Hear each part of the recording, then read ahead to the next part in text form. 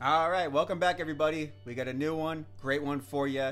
If you're into Six Sigma and lean production, this is the episode for you. Today, we're talking about the 5S system. It's used to create a workplace for visual control and lean production. If you're used to hearing about Six Sigma, you definitely heard about the 5S's. If you're like me and you have a father that used Six Sigma all the time, you heard this over and over and over again. And also like me, your mother would hear the same stories at dinner, so she'd just politely excuse herself, put her plate in the sink, and then help herself to a large bottle of vodka. So the five S's are very simple to learn and easy to implement. The five S's are actually in Japanese, but I'll go ahead and translate that into English for you. I'm not actually translating it myself. I just Googled it because the only time I practice Japanese is when I'm at sushi. It's basically just edamame and sake. Okay, the five S's. Number one, sort. Number two, set and order. Number three, shine. Number four, standardize. Number five, sustain.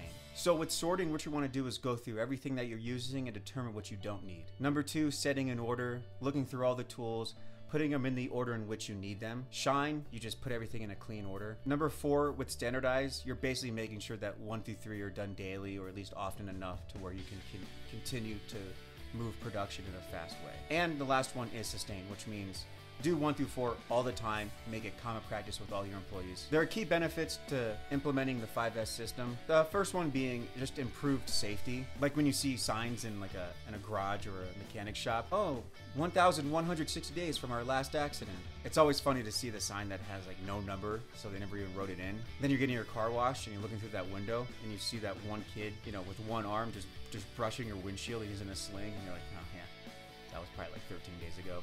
Other benefits are higher equipment availability, lower defect rates, reduced cost, increased production, and then there's one about improved employee morale because I'm sure people are just jumping out of bed to implement the 5S system, and all they really want to do while they're at work is just hope a piece of machinery falls on them at the standardized step and then just ends it all. Better asset utilization, and just a better look in general to all your customers, your suppliers, your vendors. Hey guys, thanks for watching. Uh, don't forget to like, subscribe, comment below, start talking to people. And as always, if there's any topic you want to talk about, just go ahead and throw it in the chat and I'll get something going. Thanks.